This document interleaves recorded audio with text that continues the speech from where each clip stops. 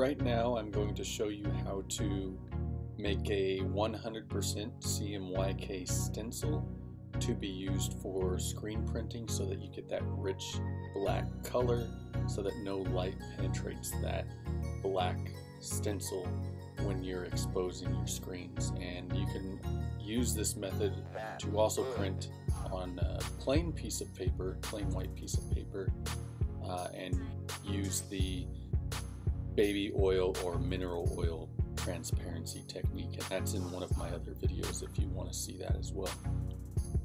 Okay, so start off by opening up Illustrator and I'm just going to get my template ready and I'm going to use a plain 8.5 by 11 piece of paper so go ahead and uh, undersize click letter and that's a plain 8.5 by 11 sheet of paper or a 8.5 by 11 transparency.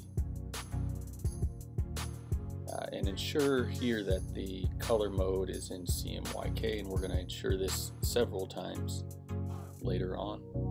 And now that you have your template ready, we're going to go ahead and minimize this and you can open up your web browser of choice. Here I'm using Google Chrome and in the Google search I'm going to search for an image of interest and here I'm just going to search for skull drawing as an example and go ahead and click on images.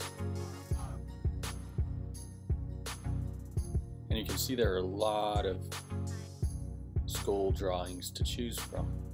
Um, a lot of interesting ones. Uh, but I'm going to take this a step further and click on Search Tools, Usage Rights, and Labeled for Reuse. Now this means that there's no trademark or copyright or anything associated with these images.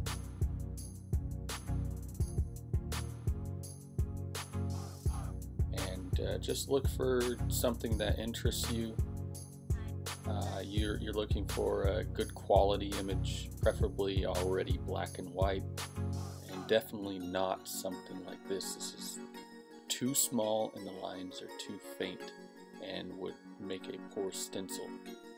Uh, something like this would probably work. It, it, appears to be much larger, so go ahead and click on View Image. You can even zoom in. Uh, the lines are fairly crisp and this would make a good image so I'm just going to go ahead and save it to my desktop name it something much shorter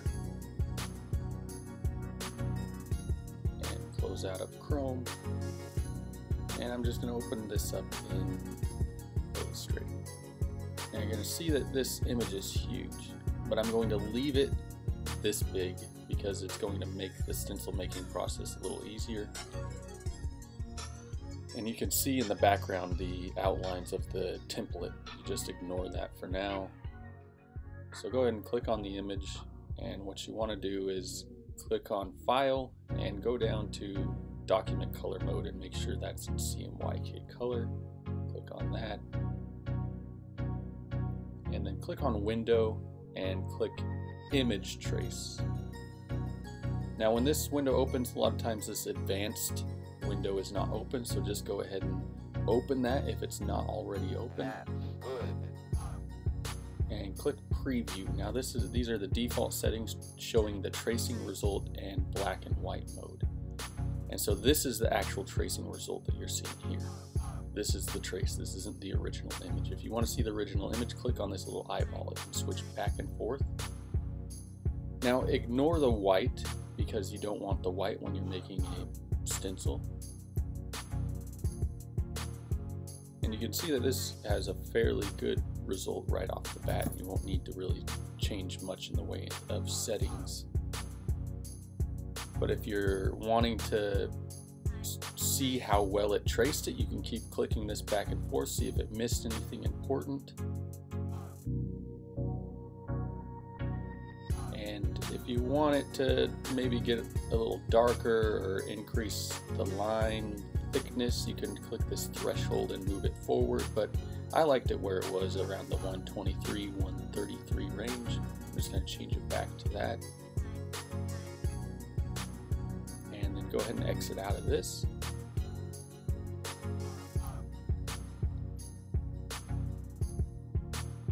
And what you're going to notice is this under swatches, there's a question mark under the color. And if I try to change this color, nothing's going to happen. So the reason why is because you're not selecting these individual lines. So you want to click expand and it's going to select all the lines within the image and go ahead and try to change the color again but you'll notice when you try to change the color again it's only going to change it to gray every time no matter what color you choose. So click on the image again and the first time remember we went to file and checked the CMYK document color mode. Well double check that, it's not a bad idea. Then go to edit, edit colors and convert to CMYK. Now go back in and try to change that color and it'll change to whatever you want it to change to. So in this instance, I just changed it to blue for an example. Now go back in, we're gonna change this to our CMYK, our rich black. In a rich black, the best color mode for rich black is 50, 40, 40, 100.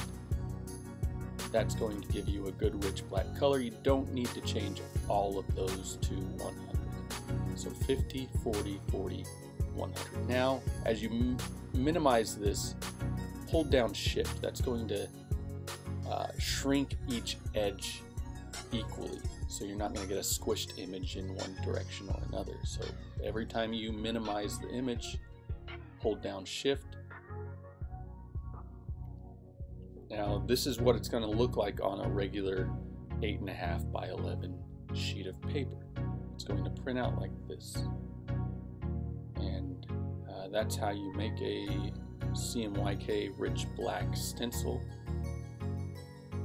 Now we want to, if you want to see what this looks like on a uh, t-shirt uh, in a certain color, you can uh, have maybe an image of a t-shirt and overlay this in a different color onto that t-shirt. So you can just change the color. Say I wanted a green skull on a black t-shirt uh, I could change this to green and overlay it onto a t-shirt just to get an idea of what it might look like if it were screen printed so once we switch this black to uh, back to black uh, go ahead and export it. And it's important to export it in the proper format. Don't export it in PNG because PNG you'll lose that rich black color right away because PNG does not save in CMYK.